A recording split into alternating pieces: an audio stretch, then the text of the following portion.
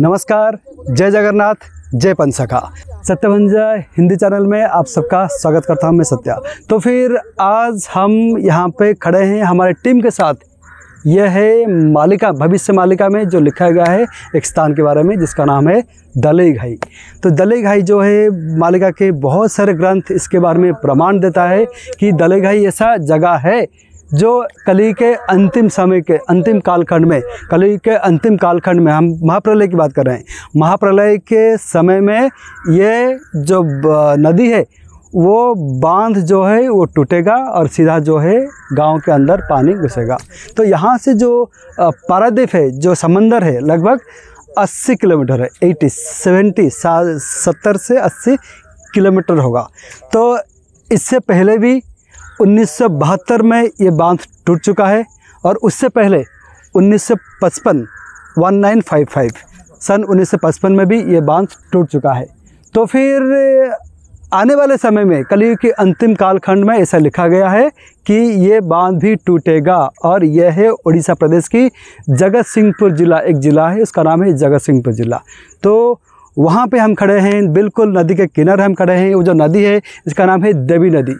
देवी नदी जो है, वो महानदी का एक शाखा है, एक ब्रांच है। तो ये देवी नदी है और वहाँ पे आप देख रहे हैं, वहाँ तक बिल्कुल जो है नदी फैला है और इस वाले बाँध से और ये वाले बाँध, उसका जो डिस्टेंस होगा, ये लगभग होगा पाँच किलोमीटर से भी ज़्यादा, इतना बड़ा। तो लिखा गया है, मालिका में, मैं पहले उड़िया में बोलता हूँ, क्या लिखा गया है?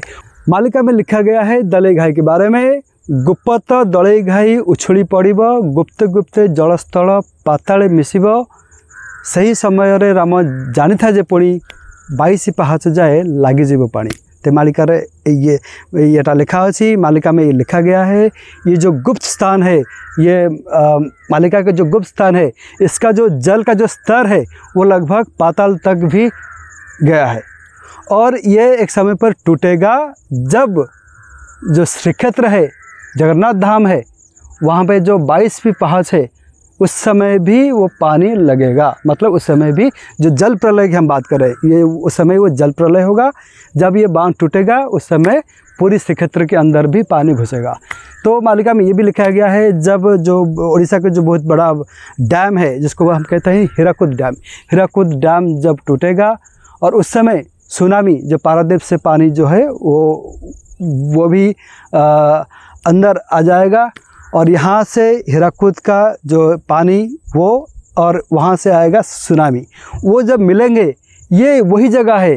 ये जो सुनामी में आएगा इधर से आएगा सुनामी और यहाँ से आएगा हीराकुद डैम का जो पानी। तो ये जो संगम स्थली है जब ये दोनों स्रोत मिल जाएगा ये यही जगह है जिसका नाम है दलई घाई। तो आ, दलई घाई के बारे में भी और भी बहुत सारे ग्रंथों में इसके बारे में प्रमाण मिलता है। महापुरुष जसवंत दास ने भी लिखे हैं, महापुरुष श्री अच्युतानंद दास ने भी लिखे हैं शिशुआनंद दास ने भी लिखे हैं इसके बारे में। तो फिर आगे चल के हम बात करेंगे। लेकिन जाते जाते और एक भी बात मैं यहाँ पे कहना चाहूँगा। मालिका में जो लिखा है कि ये कब टूटेगा? मालिका में ये लिखा गया है कि ये कब टूटेगा? उस दिन गुरुवार होगा और सुदर्शा व्रत होगा और तिथि होगा शुक्ल पक्ष एकादशी तिथि। तो ये जो तिथि होगा, उसी दिन ये बाँध टूटेगा। तो अगर आप में से कोई ज्योतिष है, जिनको एस्ट्रोलॉजी में थोड़ा बहुत ज्ञान है, आप देखिए गुरुवार कब आता है, सुदसरा व्रत कब आता है और उस दिन ये बाँध टूटेगा। तो जल प्रलय जो है, यहीं से शुरुआत होगा। तो ये सब बातें हम आपको डराने के लिए नहीं कर रहे हैं, जबकि मालिका जो है, हमेशा जनमानस में सचेतन की वार्ता देता है और उसी को आप तक पहुँचाने के लिए हमारा चैनल छोटा सा प्रयास कर रहा है। मिलते हैं अगले वीडियो में। जय जगन्नाथ। जय पंचसखा